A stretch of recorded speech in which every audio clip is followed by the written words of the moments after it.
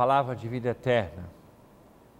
Do Evangelho de São João, capítulo 21, versículos 20 a 25.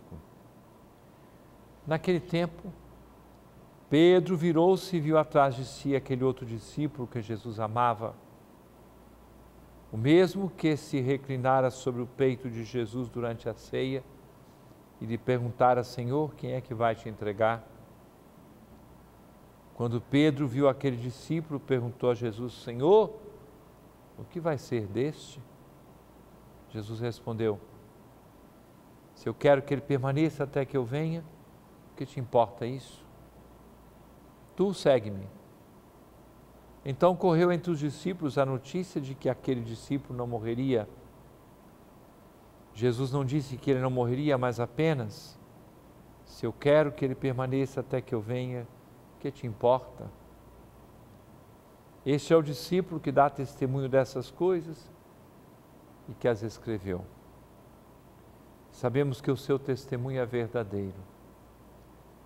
Jesus fez ainda muitas outras coisas, mas se fossem escritas todas, penso que não caberiam no mundo os livros que deveriam ser escritos. Que bela forma para nós chegarmos a este sábado que precede o Pentecostes.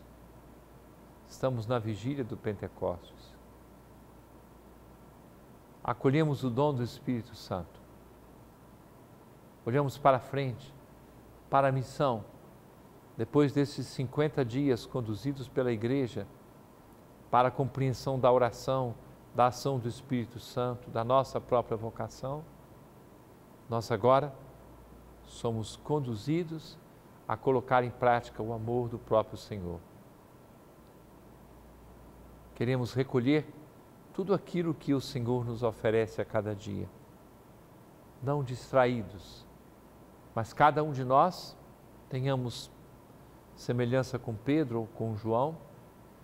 Pedro, a ação, João, a contemplação, as duas coisas se completam e nós buscando a cada dia a fidelidade à força da palavra do Senhor que conduz a nossa vida.